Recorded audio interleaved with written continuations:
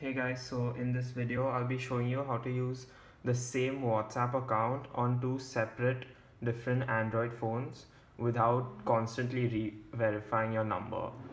So as you know, like if you uh, install WhatsApp on one phone and then download it on the other and set it up using your same number, you'll get signed out of your first phone. So you can't actually use uh, WhatsApp on two different, two or more phones without constantly logging in and out again. So I'll show you a little trick to bypass that. Okay, so now the first thing to note is that this method works only on Android.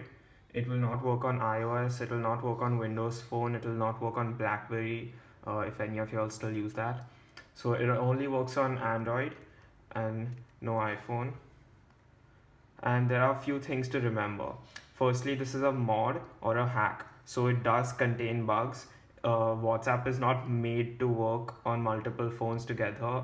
This is just like a kind of bypass which they haven't fixed. So it's a, as you can read, it's a mod.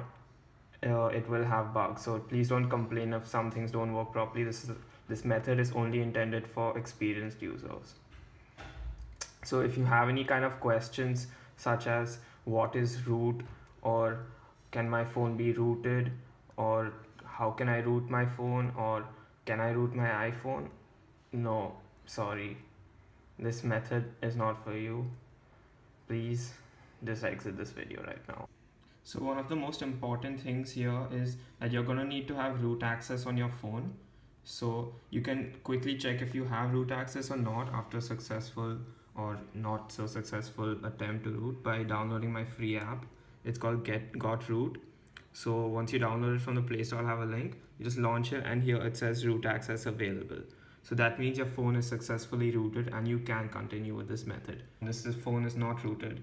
So once you launch the app, it will give you an error saying, sorry, your device is not rooted. So if that's the case and if it opens up this little Google search, then sorry, this method won't work for you.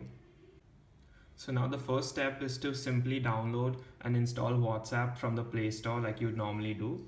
So just install WhatsApp directly from Google Play and set it up, sign in as you'd usually do. So you can just launch it and probably just text a few people.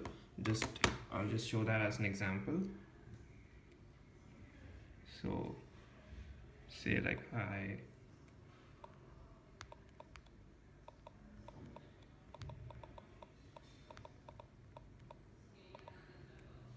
So yeah. So once that's done, once you set it up your first phone. Now this is my primary phone. So you can uh, so after setting that up the second step is to download titanium backup from the play store. That's free as well. So once you download titanium backup uh, you can quickly launch it. It'll ask for root permissions over here. So you'll have to grant root access to titanium backup. That's why you require to have root on your phone and just scroll down find whatsapp. Out here it says here whatsapp no backups yet. Just tap that and click backup. Uh, it may say this so you can just do okay. And just let it back up. Once it backs up whatsapp it'll create a it'll create three different files within your sd card under a folder named titanium backup. So what you have to do is copy that titanium backup folder and paste it or using a computer or anything just transfer it and paste it on another device which also has root access and titanium backup installed. So as you can see this phone also has root access. It says root access available. So just head over um, to this phone which is rooted install titanium backup and copy the files from this phone to the other phone where you want to install whatsapp as well Right here, as you can see in my phone's internal storage, there's a folder called Titanium Backup, which has these three files. So what I want to do is copy these three files. Just save it somewhere on my desktop.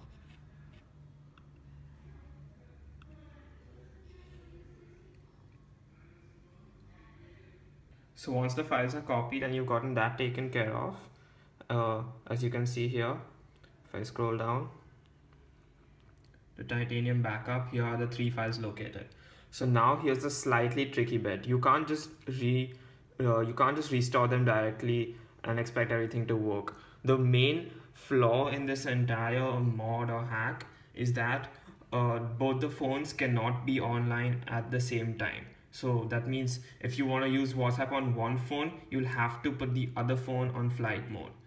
Make sure that the first phone is offline before you restore this file. So this is the original phone which had WhatsApp. As you can see, it still does have WhatsApp, same chats and everything. So I'm going to switch off this Wi-Fi and if possible, just better to just put on flight mode. So now you know the Wi-Fi and the 4G are disabled in the original phone.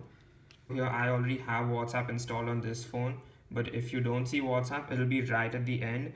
It'll be named com.whatsapp. something like that. So just click WhatsApp here and do restore and you can either do app or data or just data. I already have the app installed, so I'll do only data.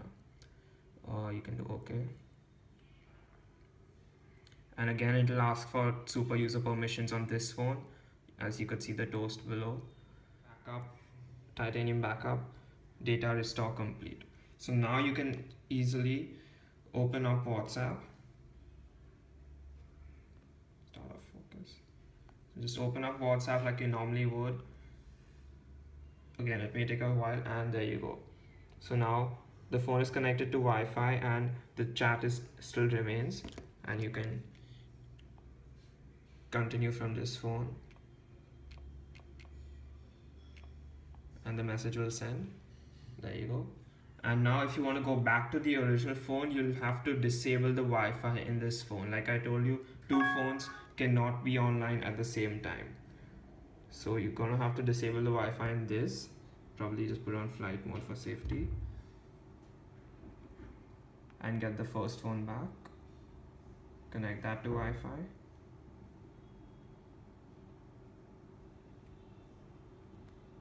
And now you can open up whatsapp. Now your messages they won't be synced because whatsapp again it's pretty outdated and it doesn't support the syncing feature so it's not going to cloud sync your messages. So that's again another issue but you can still continue here without any sort of verification problem. So you can just send something and there you go.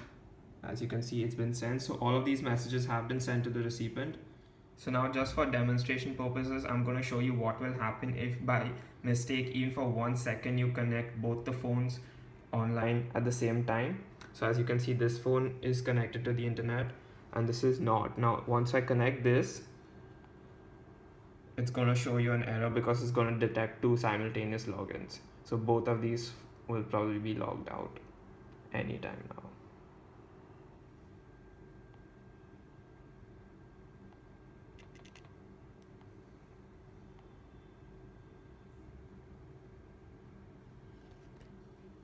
Okay, well, that's pretty strange. Okay, this is really strange. This should not be happening, but who knows? Maybe it's a new bug in their system again. But regardless, uh, just try not to keep both the phones online at the same time. And thank you so much for watching. Please subscribe uh, for more videos to come. Peace.